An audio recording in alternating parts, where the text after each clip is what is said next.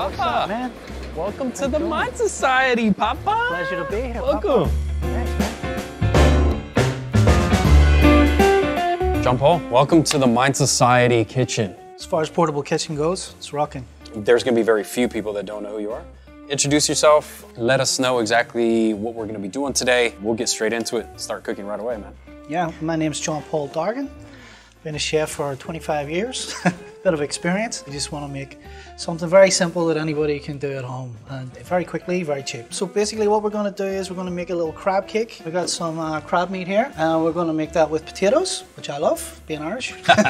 we're going to do a little garnish, very simple garnish with some fennel that's in season at the moment, some shallots and garlic, give it a little bit of flavour and some spring onions. And we're going to season that up with a little bit of lemon zest. Then we're going to do some spinach, just a little bit of vinegar in our water for the poached eggs, a little bit of olive oil, and some cream for our spinach a little bit later. We've got a little pané station set up here as well because we're going to crumb our fish cake once we get it ready. So that's just a simple uh, mix of flour, which is seasoned with salt and pepper, a little mix of egg and milk. This is a breadcrumb mix. Panko breadcrumbs are usually best because they got a little bit of texture and stuff in them as well. Follow those three steps: flour, egg, crumb, and then into a nice kind of shallow fry in uh, vegetable oil. Beauty. Get a nice crispy skin, and then we'll put them to the side, and then we'll start our spinach after that. What are we calling it? I think we're gonna call this COVID fish cake. Let's get started.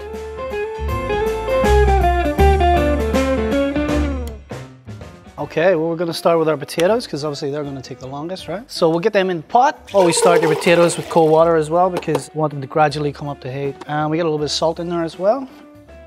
Good pinch of salt in there. How long does the do the potatoes typically take? To, well, we've cut them cook? cut them nice and small. So from cold, I reckon about 30 minutes. This whole dish should take around 30 to 40 minutes. Beauty. Okay. We're using the whole COVID-19 kitchen setup here. We've got the camping single stove uh, burner, and then we've got the modified two burner top. Nothing but class here. Man, this is this high is tech. legit. this is like the highest of tech. You've been in the cafe game for ages. What makes a perfect poached egg? It's all about the pot, temperature of the water, and the person obviously who's poaching as well. What about the vinegar myth? Oh yeah, it's true, man. Is it? Yeah, it's so true. You gotta have vinegar and water. The vinegar. And no salt. I heard it was just a myth. Yeah, no, it's true, man. It's Is true, it? Yeah, it's what uh, helps the egg white bind together and holds the actual egg in place. So, No yeah. wonder I can't poach poach. You've been doing this all these years. We're gonna give you tips vinegar. on that. I was like trying to prove it wrong, and then Yeah. my poached eggs always came out like hard boiled apart. eggs. That's all I I'll give you a lesson today, man. It's all good. Sounds good. I'm gonna pull up a chair here. You just got back from the Mediterranean. How was that? What were you doing out there? I was lucky enough to get a job working on a, a super yacht, traveling around the Med for three months. So started off in Spain and Barcelona, which is Beauty. one of my favorite places in the world. We went down um, towards the south of France, Saint-Tropez, all those beautiful little places. Got the shop for all my own stuff. No real budget either, so I was just buying all sorts of all sorts Man. of madness. Fresh morels, chanterelles, stuff that you just can't get here, you know. We had to schedule it all out, sort of feeding about up to 10 people on the boat. How big was your crew? 25 crew altogether, Yeah. but in the kitchen just the two of us. Oh wow. Yeah, Two so, of you. yeah, just Three two of meals. us. It would depend. Sometimes the owner would take off for a couple of days, or go out for dinner, go out for lunch on certain Oh, days. yeah. So we had some free time as well. So I've seen places that I could never imagine I would have ever seen. You know, especially accessing them by boat as well. Yeah. Where'd you go in Barcelona? I really love like the Gothic quarter of Barcelona. So much history there, you know, and the food scene there is just amazing. Crazy. Yeah, crazy. I love the tapas bars. I love the the vibe to it. You know, the late nights, the drinking fino. You know, That's and that's how we met about ten years ago. That is, man, that Uh, is. You were a sous chef at a Spanish restaurant in the city. I was fresh, fresh off the boat. I ended up getting a job like part time there. You showed me so much about food, about Spanish food, molecular gastronomy, which you guys were doing a little bit of that. I learned a lot about wine, Yeah, uh, cool. Spanish wine, European. It was an amazing experience there, and we got to know each other a lot better. Mm. We lived in the same area. Whenever we would we'd head back, we would um, find Stop our off for a find, debrief? we find ourselves locked in to bars in, in on Chapel Street actually. That's right. You remember Corey used to look after us That's and he right. used to yeah. lock us in there. yeah, we had a few friends in the industry, didn't we? Yeah, Still the- do to this day, you know. How did you get into Spanish food? Initially in Ireland, I worked at um, a place called the Tannery in Dungarvan, and we had a Spanish chef from Barcelona actually who came over and took a job. Come over, couldn't speak a word of English. We just won a big award for the best restaurant in Ireland, so we were kicking goals in a very small town. This guy came over and he used to walk around with his English dictionary. We'd go to the pub and have a Guinness, and he'd be sitting there with his dictionary trying to translate words and stories, cool. you know. But he was an absolute inspiration for me um, as far as cooking goes. And at the start, I didn't really understand much about it or what he was saying or what he was trying to get across. But his skills, like simplicity, you know, Yeah. but done to an absolute T. He taught me so much as far as like the basics went and traditional ways. And you know, through those years and learning those basic skills, we've been able to kind of replicate that in a modern kind of take as well. Yeah, like 10 years ago when I first got here in Australia, it was like Span- like Spanish food was Yeah, it was massive. going It crazy, was wasn't huge. it? It was huge. Yeah, Spanish food is so versatile as well. yeah, so many different ways you can go with it, you know, so many different influences from all around Europe. Rustic, modern, everything, you know? The same bullshit. I like this one, but this is a blend. I just got this today from Carwyn Cellars. I've never had a blend of mezcal before. It's always been single estate. Check out the dude though.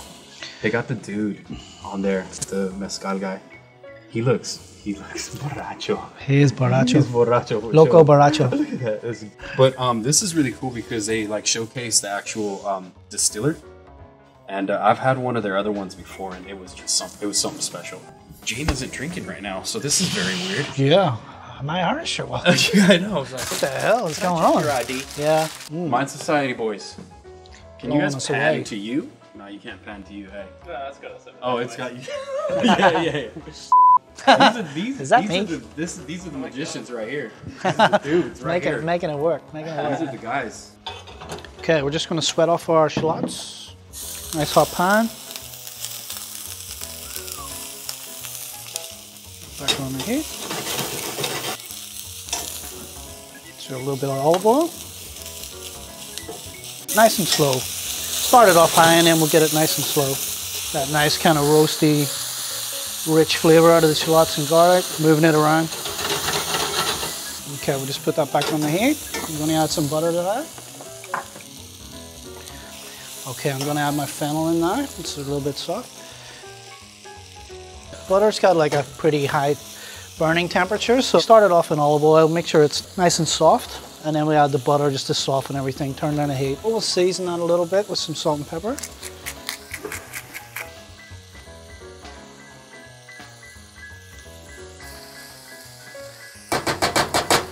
Cool, we'll just turn that heat down a little bit more. That's perfect. So we'll just let that stew away. Our potatoes are ready here, so I'm just gonna take these off the heat. I'll strain those for you.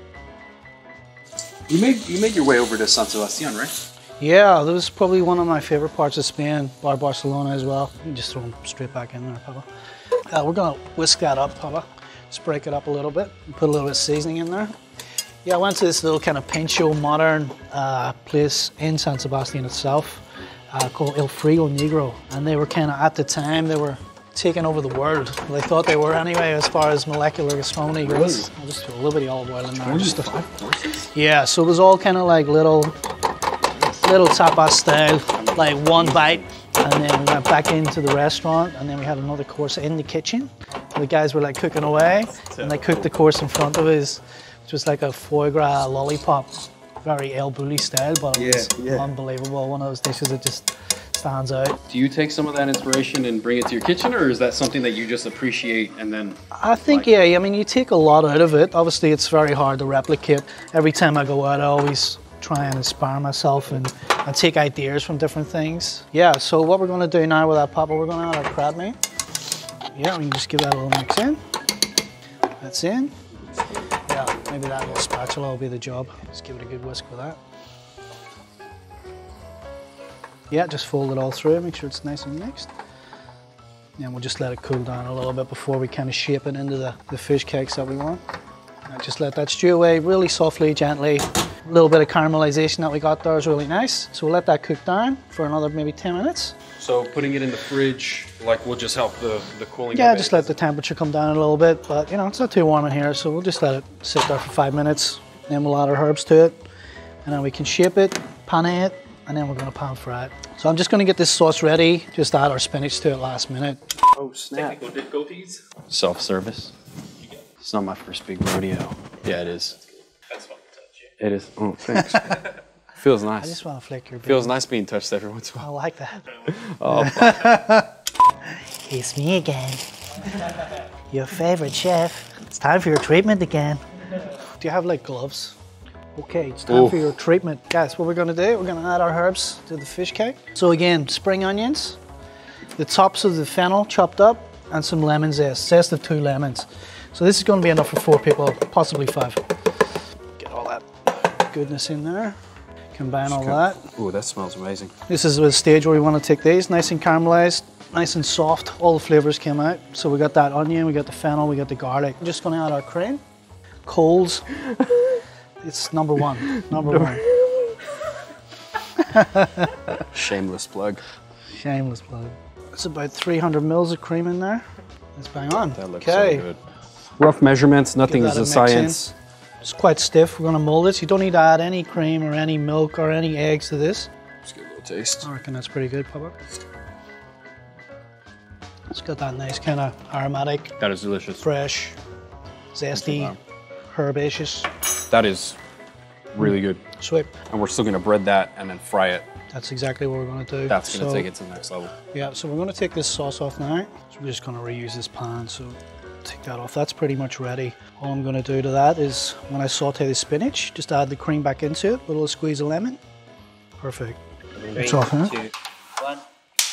And we're going to get our water on, which is hot water. We're going to poach our eggs in here. Yes. So it's important to use quite a big pot. To this, all we're going to add is some vinegar. Say that is four liters of water. I use maybe about 400 mils of uh, vinegar to that. So you need quite a bit. This is kind of one of the things that people forget. And then do you want to get it like boiling hard or do you want to Bring it it up to the boil first, and then turn it down to a simmer. I might actually Turn finally right be able to poach an egg Yeah, you'll get there, man. after all of these years.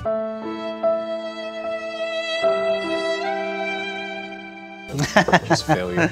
Okay, so what we're going to do here is we're going to fry, shallow fry our fish cakes. So we'll get our oil on up to temperature to about 180 degrees. It's going to crumb our fish cakes now, as I said earlier. It's a little pane section, flour, eggs, and breadcrumb. Going to do it twice just to keep it a little bit of, little bit of texture to it as well. So just shape our fish cakes, make them as big as as small. This could also be a nice little starter as well, but it's a perfect kind of brunch dish, I guess.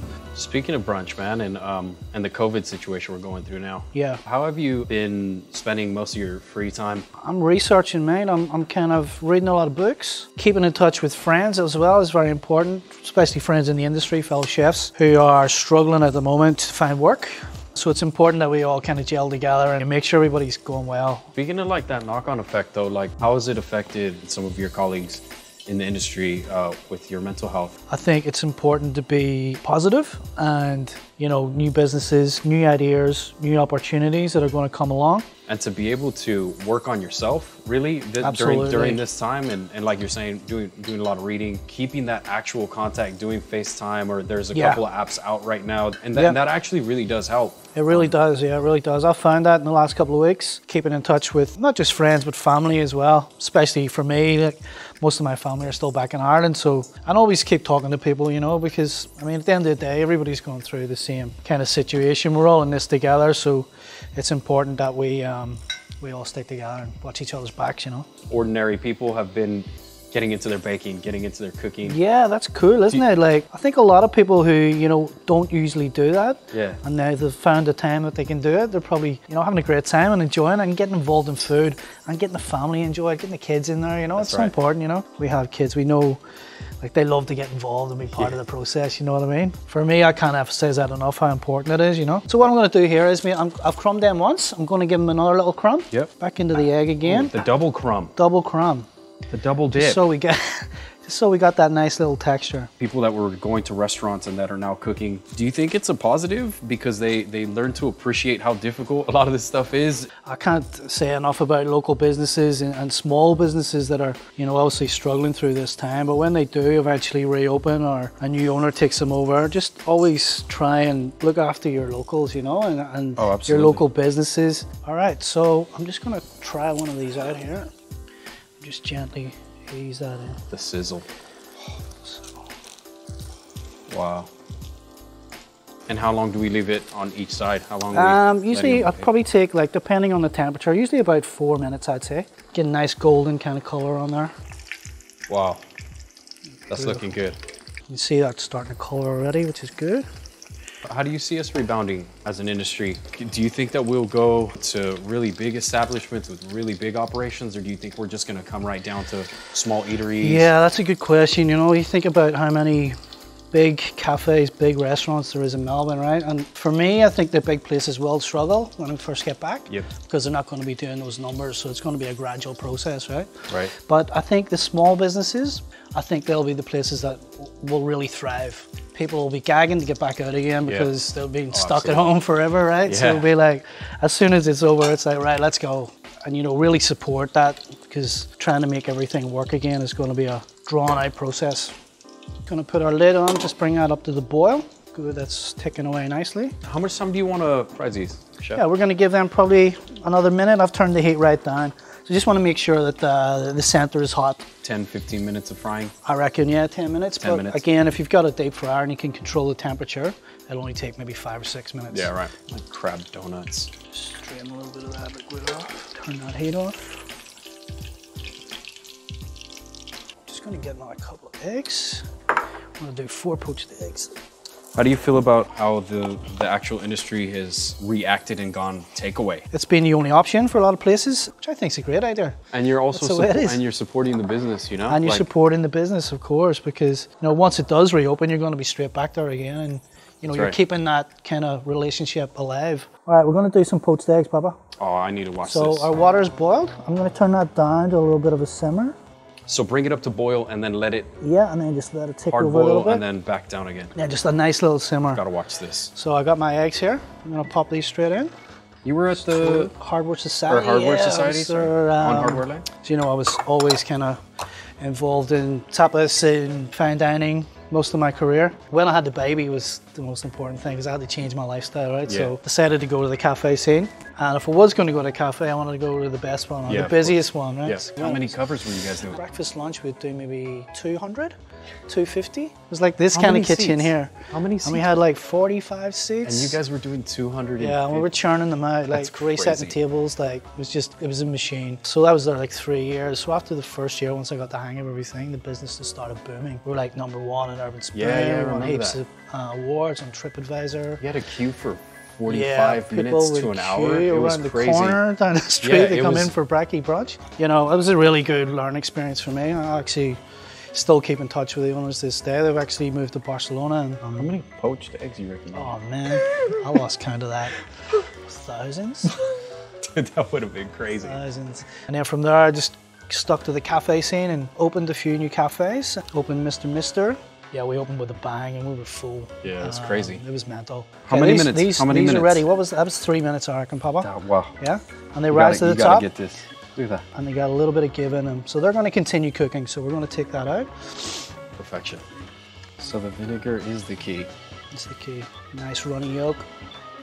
And always use free range eggs as well. It makes such a difference. And they need to be fresh. And ideally, I would leave the eggs out um, at room temperature before you cook them, just so they come up to like 30 degrees. They're easier to poach then. Let me get rid of that. Yeah, I'll just use yeah. that pot then. Just let that cool down. We'll use that for the spinach. Hot, hot, coming through. Hot, Hot, hot. spicy hot. All right. All right, okay, guys. So um, yeah, next step, we're gonna saute our spinach. Yep. Um, so just get our pot again, just warm. We're gonna add some butter in there, melt that down a little bit. So just get our butter nice and melted. A little swirl around that, Swerve on. and then we're just gonna add our spinach to that. Just gonna let that steam down. Seems like a lot of spinach, but it cooks down. And just get some seasoning. How much do they spend on this dish for four? This cost less there? than fifteen dollars. You could feed six people Yep. for under fifteen bucks, which is pretty good. And you don't really need too many high tech gadgets or anything. Like no, absolutely. No, it's all about controlling your temperatures. It's real simple processes. I'm just keeping an eye on things and try not to do too much. Turn the heat up on that now. Okay, so the spinach, I'm just going to add our cream sauce that we made before. So this is like a kind of braised spinach. It's got all that lovely flavor in there. So the spinach is quick. So like you just quick. you just low Sweat heat. it down a little bit. Kind of bring it then we're just going to bring then- that up to temperature and it's pretty much ready. So this is great accompaniment with meat as well. It doesn't have to be fish. Like this with lamb is really, really nice. Or chicken, can add a little bit of mustard to that just Beauty. to bring it up to the next level. But I'm just going to heat that up gently now, okay? With our plate, we're just going to dress the plate now very shortly. These are still pretty warm, but you can keep them warm in the oven while all this other stuff's going on. Okay, I'm just going to finish that with a little squeeze of lemon juice. It's a little bit of acid, just lifts it to the next level. That's looking good. Yeah, so again, keep that real nice green color of the spinach. You don't want to overcook it. Literally takes one minute, right? A little bit of the sauce. Lots of flavor. Yeah. Flavor country. That's what I'm all about, man. You Yeah. know that. Intensified flavors and things that work really well together. Take our fish cake. Put that on top. And our poached egg. You can be a little bit chefy here and just trim it up. Just pop that on top. Just a bit of fresh lemon on there. And just a little bit of pepper. And that's it. Wow. This all can be done neat. under 15 bucks. Get But the gush. basically what you want is you just want that to be nice and runny. Get the And you just open that up. There you go. Crab fish cake for six people under 15 bucks. Now we got to do that, don't we? Uh, and uh, Oh, we'll come back to we'll be right. because whenever I see you, it's usually Yeah, that's right. right now. It's like It's like shit, uh, touchy. uh, can't be touchy feely. amazing. So that's us. Bon appetit, buen provecho. Jean Paul Dargan making the crab cakes, no frills, heaps of flavor. Eat some. Let's get stuck in. This is my favorite part right here. Watch this. I'm in flavor country right now. It's almost as if you put mushroom through there, but I think that's a lot of the sauce. That's the spinach, the earthiness. Hmm. The crab's very subtle. yeah, Textures as well. This is Yeah. incredible. Oh, it all works pretty well together as hmm. well. This is Mind Society Studios with Jean Paul Dargan bringing you the COVID crab cake. Enjoy. That's it. Enjoy. Bon appetit. Bon appetit. Buen provecho. Muchas gracias. Muchas gracias. How do you say bon appetit? Bon appetit usually enjoy your meal and then How do you say bon appetit in French? That's how stupid. How do you say bon appetit in French? Burro. What are we doing here? Man. What are we borracho?